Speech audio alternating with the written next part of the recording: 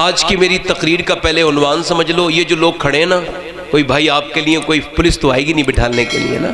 اگر چاپ چاہتے ہو بھائی مہربانی کر کے بیٹھ جاؤ بھائی ایسے نہ کھڑے ہو۔ مہربانی کرو، آپ کا بہت شکریہ کہ آپ آ رہے ہیں۔ بیٹھے آرام سے۔ ہاں بتائیں، ماشاء ماشاء اللہ یہ کیا ٹائم ہو رہا ہے؟ یہ ساڑھے دس بجنے والے ہیں اور ابھی تک لوگ بیٹھے نہیں ہیں۔ آج کی میری پہلے تقریر سنیں، اس کے بعد اس کا موضوع سنیں، پھر تقریر سنیں۔ بھائی، عنوان بہت سادہ سا ہے اور باتیں بھی بڑی سادہ سادہ ہوں گی۔ میں تو بہت زیادہ بیکار سا انسان ہوں، بس خادم ہوں۔ یہ میری تعریف کر رہے تھے کوثر بھائی، یہ ان کی اپنی مہربانی ہے۔ اپنی اوقات صرف اتنی ہیں۔ کچھ نہیں، بات صرف اتنی ہیں۔ کل بھی ٹکڑوں پہ ان کے پلتے تھے، اب بھی ٹکڑوں پہ ان کے پلتے ہیں۔ بات میں کر رہا ہوں میری آج کی تقریر کا جو ٹائٹل ہے وہ جو ہے وہ یہ ہے کہ اللہ کا شکر اور سیرت رسول۔ یا ایسے کہیں شکر خدا اور ذکر مصطفیٰ۔ ٹھیک ہے؟ بات سمجھ آ گئی؟ شکر۔ یہ جو بار بار آواز کر رہے ہیں نا یہ کم کرو۔ تو جو ہے؟ شکر خدا۔ اور ذکر شکر کس بات پر؟ سوال پیدا ہوتا ہے۔ شکر کس بات پر؟ تو جواب یہ ہے کہ پہلی بات جو سب سے بڑا احسان مرے رب کا ہمارے اوپر ہے پہلی بات کہ اللہ نے ہمیں انسان بنا کے پیدا کیا۔ زندہ باد۔ غور سے سنیں کیا بنا کے پیدا کیا؟ اللہ تعالی الانسان حین من الدہر لم یکن شیم مذکورا۔ اللہ قرآن میں ارشاد فرماتا ہے، انسان پہ ایسا دور گزرا ہے کہ وہ کوئی قابل ذکر شئی نہ تھا۔ اللہ نے اسے اپنی مہربانی سے کیا بنایا؟ انسان بنایا۔ بھائی عزید بستامی کا نام سنے غریب نواز ان کے بارے میں ارشاد فرماتے ہیں۔ لوگوں، بھائی عزید اتنا بڑا اللہ کا ولی تھا کہ جب ہم روتے ہیں تو آنسو نکلتے ہیں۔ مگر جب بھائی عزید روتے تھے تو آنسو نہیں نکلتے تھے، آنکھوں سے خون نکلنے لگتا اللہ اکبر اللہ اکبر۔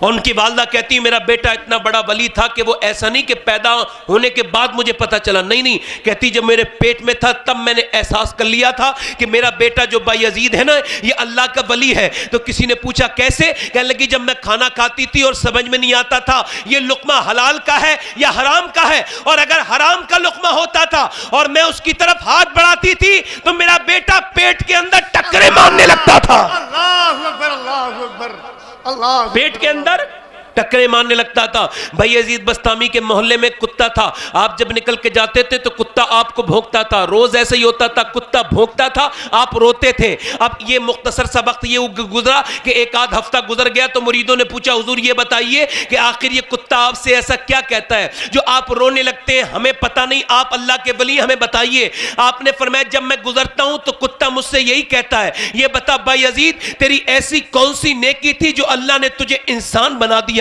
اور میرا ایسا کون سا گناہ تھا خطا تھی کہ میں کتا بنا دیا گیا۔ یا اللہ تیرا لاکھ لاکھ شکر ہے انسان بنا۔ اور انسان کے بعد چھوڑ دیتا تو انسان اور بہتر جہنم کا ایندھن ہے۔ اللہ نے انسان بنانے کے بعد پھر مسلمان بنا دیا۔ اب جنہیں لگتا ہو یہ نعمت اچھی ہے تو وہی سبحان اللہ بولیں گے۔ ورنہ نعمت پہ شکر نہیں ادا کرو تو چھن جاتی ہے۔ کچھ لوگ ہوتے ہیں انسان ہو کے پیدا ہوتے ہیں مگر جانور سے بدتر ہوتے ہیں۔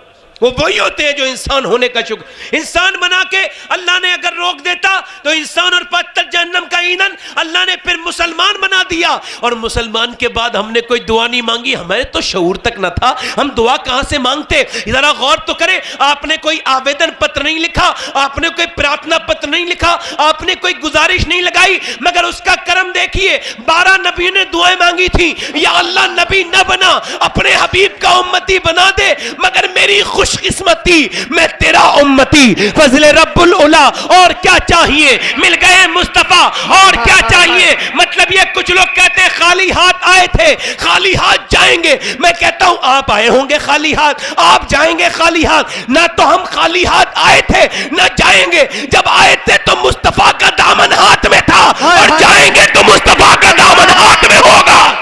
اللہ اکبر اللہ اکبر اللہ اکبر۔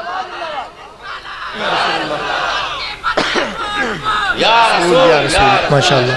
Zindabad, zindabad.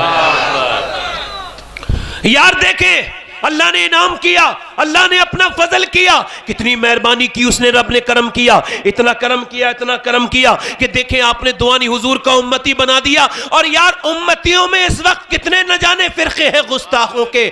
مگر جب اس نے ہمیں پیدا کیا تو یار کے غداروں میں پیدا نہیں کیا، بلکہ یار کے وفاداروں میں پیدا کیا ہے۔ زندہ باد زندہ باد۔ زندہ باد زندہ باد۔